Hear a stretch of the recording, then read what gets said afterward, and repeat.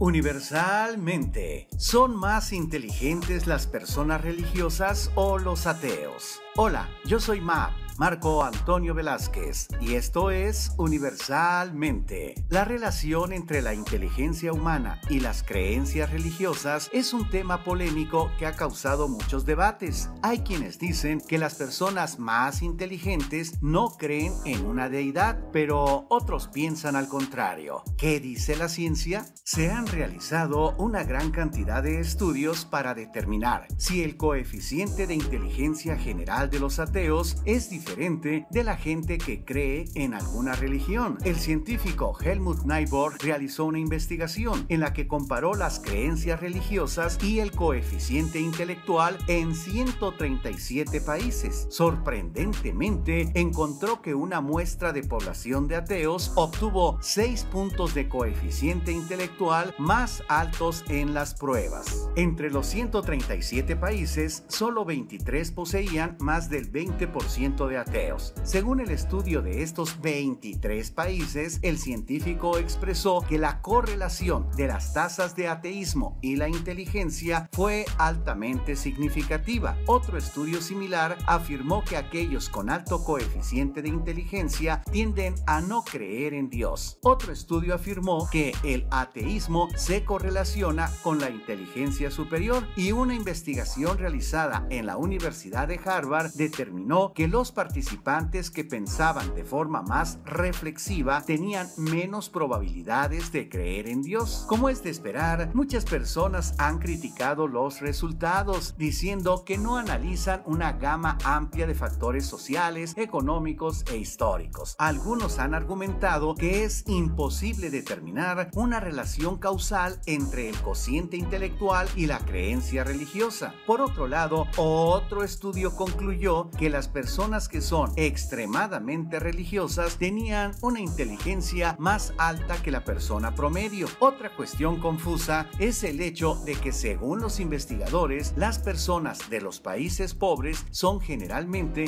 más religiosas y sin educación, pero también descubrieron una correlación entre personas altamente educadas y creencias religiosas. En Australia, el 23% de creyentes en Dios poseen estudios universitarios universitarios o un título de posgrado, mientras que solo el 13% de la población general ha obtenido un título. En realidad, los investigadores no han podido llegar a una sola conclusión, y es que el tema es realmente controvertido. Todo parece indicar que el hecho de creer o no creer en una deidad no tiene que ver con la inteligencia. ¿Y tú? ¿Qué piensas sobre esto? ¿Crees que sí existe Dios porque eso te inculcaron tus padres u opinas que Dios no existe? Escribe en los comentarios. Si te gustó este video, dale like, compártelo y suscríbete a Universalmente. Si te gusta la naturaleza, te invito para que visites el canal que se llama Mundo Animal, con información interesante que te sorprenderá. Enviamos saludos a quienes comentaron el video. Cirugías plásticas en el aeropuerto de Seúl durante las conexiones. Ángel Jonathan, Ana Padilla, Guillermo da Costa, Hilda Mary, Luis Felipe Tineo Mucha. Conoce nuestro canal para gente inteligente Top 6. Soy Marco Antonio Velázquez y esto es Universalmente.